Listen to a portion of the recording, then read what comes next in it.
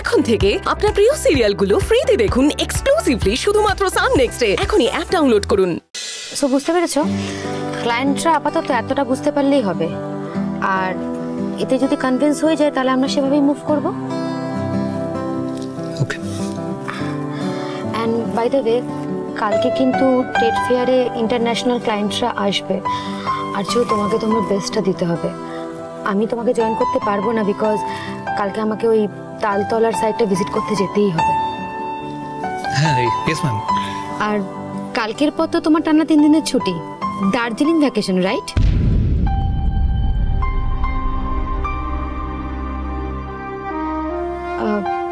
Arya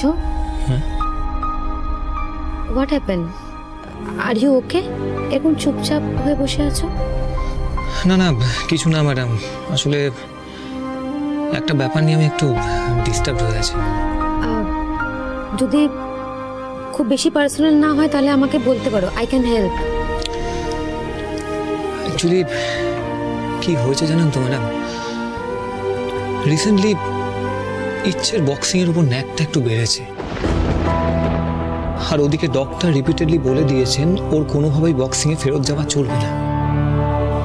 তাতে ওর ওর আরও বড় ক্ষতি হতে পারে ম্যাডাম হ্যাঁ তাহলে ওকে বারণ করো। লাইফ রিস্ক নিয়ে তো কোনো লাভ নেই। বারণ করেছি ম্যাডাম কিন্তু কিন্তু কারণটা কোনোভাবে এক্সপ্লেন করতে পারছি না। আমি জানি না ওকে কীভাবে বোঝাবো আর ও কীভাবে রিয়্যাক্ট করবে কিচ্ছু বুঝতে পারছি না। দেখো ডক্টর যদি বলে থাকে তাহলে তো নিশ্চয়ই খুব ইম্পর্টেন্ট কারণই হবে। আর তোমার স্ত্রীকে তো সেটা বুঝতে হবে। কে বোঝাবে ম্যাডাম ওকে? ও যত না বুঝছে তার থেকে বেশি ভুল বুঝছে আমাকে। ম্যাডাম একটা রিকোয়েস্ট করতে পারি? আপনি যদি ওকে একবার মানে এই ব্যাপারটা বুঝিয়ে বলতেন তাহলে বাড়িতে আমি আর্যর সঙ্গে কি করব না করব সেটা নিয়ে তোর কোঅপারেশন বা সাজেশন কোনোটাই চাই না। I am sorry Arya. আমার মনে হয় এটা তোমাদের টু মাচ পার্সোনাল ব্যাপার। আর আমার এটাতে ইনভলভ হওয়া ঠিক উচিত হবে না। হয়তো তাই। কিন্তু আমার না আমার এই পুরো ব্যাপারটা নিয়ে প্রচণ্ড হেল্পলেস লাগছে। ঠিক আছে ম্যাডাম আমি আমি উঠি। আর্য দেখো সব থেকে বড় বিষয় হলো কালকে ট্রেড ফেয়ার রয়েছে।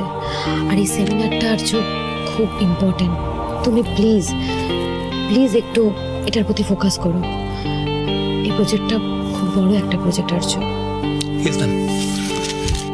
আচ্ছা ওয়ান মিনিট আচ্ছা কালকে তুমি ট্রেড ফেয়ারে কি পড়ে যাচ্ছ?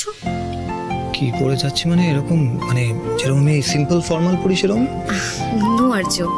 এইসব জায়গায় লুকটা খুব ইম্পর্ট্যান্ট আমার মনে হয় তোমার লুক পাল্টানোর সময় চলে এসেছে। আর্য একটা কথা মাথায় রেখো। তুমি এমএস গ্রুপকে রিপ্রেজেন্ট করছ okay? One minute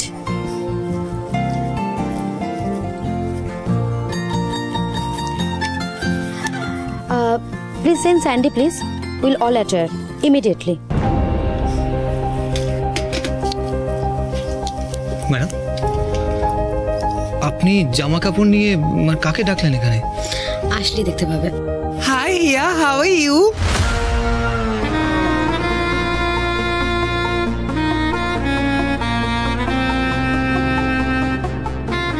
Hi Sandy তুমি একটু ওনার মেজারমেন্টটা নাও তো। মেজারমেন্ট মেজারমেন্টের আর কি দরকার? তুমি কালকে যখন ফটো পাঠিয়েছিলে আমি তখনই বুঝে গেছি। তুমি জাস্ট না শুধু কালারগুলো সিলেক্ট করে দাও। ম্যাডাম আপনি আপনি এসব আগে থেকে রেডি করে রেখেছেন?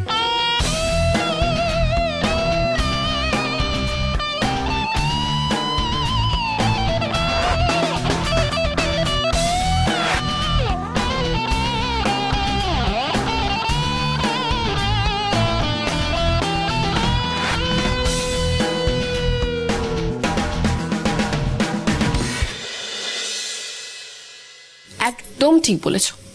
আমার বোনকে এমন করে কেউ বললে আমিও ছেড়ে কথা বলতাম না। সত্যি আর যে হোক কারোর সঙ্গে এইরকম ভাবে কথা বলা কি ঠিক বলো?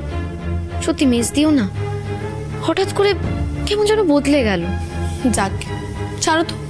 এই সময় এসব উটকো ঝামেলা থেকে তুমি যত দূরে থাকতে পারবে তোমার জন্য তত ভালো। জানো তো আমার মা বলে এই সময় হাসি খুশি থাকতে হয় কোনো টেনশন করতে। আর বরের সাথে জমিয়ে রোম্যান্স করতে হয়। আমার যেন খেতে কোনো কাজ নেই আমি এখন বরের সঙ্গে রোম্যান্স করতে যাব। হুম তুমি আর বলো না তোমাকে দেখেই বোঝা যাচ্ছে যে রোম্যান্স একেবারে জমে গেছে।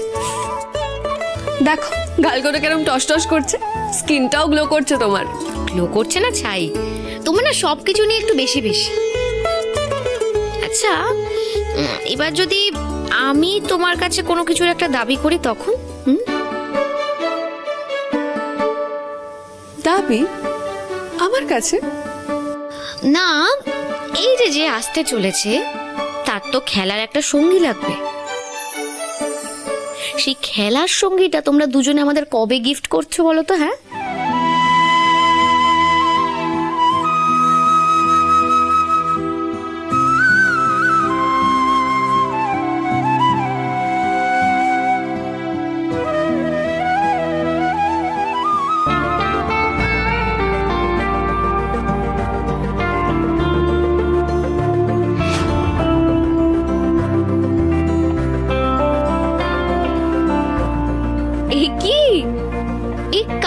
কাকে আমরা হ্যাঁ? দেখো।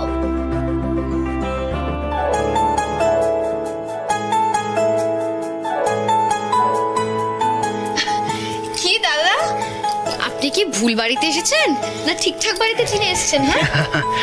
না আর বলো না বৌদি এইসব না হিয়া ম্যাডামের কাজ। কি সব স্টাইলিশ ফাইলিশ এনে আমাকে এইভাবে সাজিয়ে দিল? বাহ, হিয়া ম্যাডামের পছন্দ আছে বলতে হবে। সে আর বলতে? হিয়া ম্যাডামের সিলেকশন নিয়ে কোনো কথা হবে না। হুম। তা ম্যাডামের সিলেকশন যখন এতই ভালো খাওয়া দাওয়া সিলেকশনও নিশ্চয়ই খুব ভালো ছিল। বলছি রাতেবেলা রুটি আর আলু ভাজা হয়েছে। চলবে তো? মানে? কি বলতে চাইছো তুমি?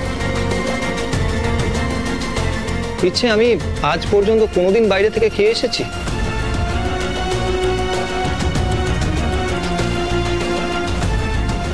কোনোদিন হয়নি মানে এটা তো না যে আজ হবে? না